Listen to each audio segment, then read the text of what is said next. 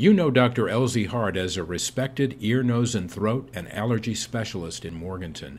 But what you might not know is that for one year, 365 days exactly, in 1968 and 1969, Air Force Captain Elzie Hart served as a battalion surgeon attached to an Army infantry unit in Vietnam.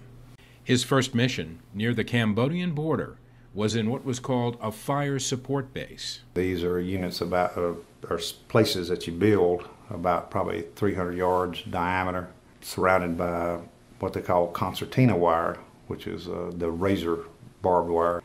Then various mines and, and some what we call gas, which is actually napalm in a 55 gallon drum.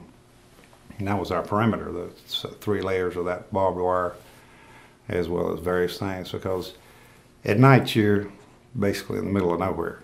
And what they, the North Vietnamese, NVA, and the VC, the Viet Cong, were doing is try to overrun these places at night.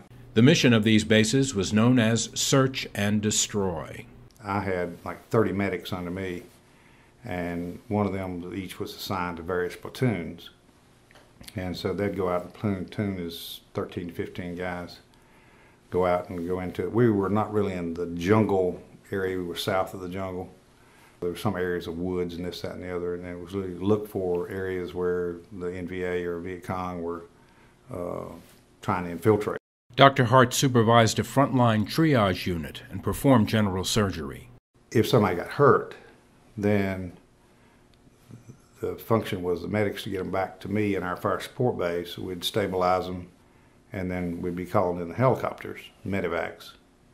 And then the medevacs would get them to the hospital. Additionally, Dr. Hart and his medics would hold medical clinics for civilians in the immediate area when it was safe.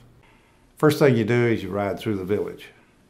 If there are kids out playing, mama's out hanging up laundry, it's okay.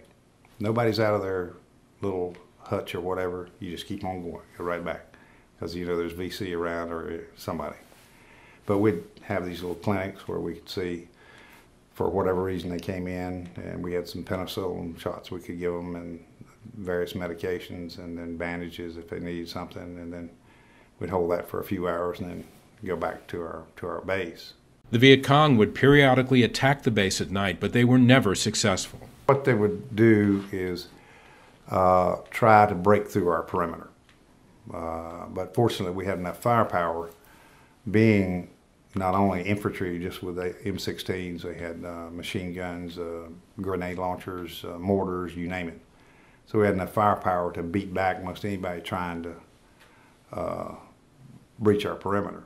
The fire support base was mobile, and Dr. Hart moved several times. We'd usually build these fire support bases, stay in them um, two or three months, something like that, and then it'd be a decision from above somewhere we need to move to another area, and so we'd tear the whole thing down, load up our uh, vehicles, and move to wherever and, and reset up. Dr. Hart got an occasional break, including two seven day furloughs. The base also received some special visitors, including Billy Graham. After about two thirds of his tour was done, Dr. Hart was moved away from the front lines.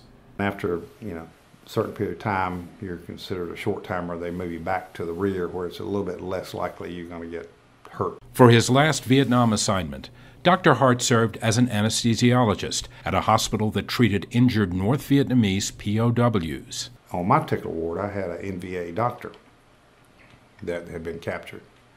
And he helped me quite a bit because he could speak a little English in terms of helping me communicate with these guys. And because one of the things is after we quote got somebody well or healed up, then we had to release them to go to the POW camps. The, the South Vietnamese had uh, prison camps. Well, whatever they did, each doc as they came through says, remember, we're going to make sure this guy never gets well because you want to keep him here to help you. To this day, Dr. Hart keeps in touch with some of his medics, but he says he became cautious about relationships in the midst of battle. One thing I tend to do after a period of time is try not to be real close friends because the, especially one situation where I had where there was a guy who was a captain of a company. And usually it's rare that those guys get hurt. And One day they brought him in with a bullet right here, boom. And this guy had been, you know, just before uh, drinking coffee with and this kind of stuff, and talking about where we live and where we go and family and this kind of stuff. And so you kind of got away from making real close relationships, but you got to know people well. Despite the ever present danger and the hardships of his Vietnam tour, Dr. Hart came away from it all with valuable new skills. The experience I had was stuff you'd never have here in terms of types of injuries and what to do with them and this type of thing. Uh, and so I think it, it really broadened your medical degree of expertise in dealing with a lot of things you might not routinely come across just in average daily being in uh, Morganton, North Carolina as an ENT doctor, or even as a general surgeon for that matter. As Dr. Hart put it, his service in Vietnam was an extraordinary experience and focused him as a physician and as a man. As he put it, just don't sweat the small stuff.